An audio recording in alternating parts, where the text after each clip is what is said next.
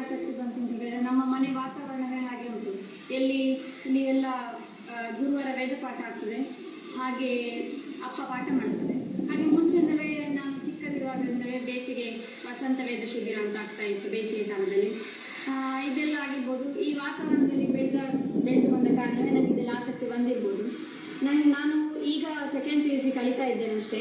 ಇನ್ನು ಮುಂದೆ ಸಂಸ್ಕೃತದಲ್ಲಿ ಮುಂದುವರಿಬೇಕು ಅಂತ ನನಗೆ ಆಸಕ್ತಿ ಉಂಟು.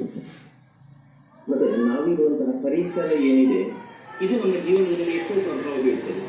ನಾವು ಹೇಗೆ ಬೆಳೆದಿದ್ದೇವೆ, ಯಾವ ಸಂಸ್ಕಾರವನ್ನು ಇಟ್ಟುಕೊಂಡಿದ್ದೇವೆ ಅನ್ನುವಂಥದ್ದು ನಮ್ಮ ಮನೆಯಲ್ಲಿ ಹೇಗೆ, ನಮ್ಮ ಪರಿಸರದಲ್ಲಿ ಹೇಗೆ ಬೆಳೆದಂಥ ಪರಿಸರದ ಮೇಲೆ ನಾವು ಏನು ಅಂತ ನಮ್ಮ ಭವಿಷ್ಯ ರೂಪಿತವಾಗಿರುವಂಥದ್ದು. ನನ್ನ ಮಕ್ಕಳಿಗೆ ಅಧ್ಯಯನ ನನ್ನ ಮಗಳು ಕೂಡ ಅದೇ ವಿದ್ಯಾಕೇಂದ್ರದಲ್ಲಿ ಅಧ್ಯಯನ ಮಾಡ್ತಾ ಇದ್ದಾರೆ ಆರಂಭದಿಂದ ಶಿಶು ಮಂದಿರದಿಂದ ಆರಂಭಿಸಿ ಈಗ ಪಿ ಯು ಸಿ ವರೆಗೆ ಬರಬೇಕಾದ್ರೆ ಅದೇ ವಿದ್ಯಾಕೇಂದ್ರದಲ್ಲಿ ಅಧ್ಯಯನ ಮಾಡಿದೆ.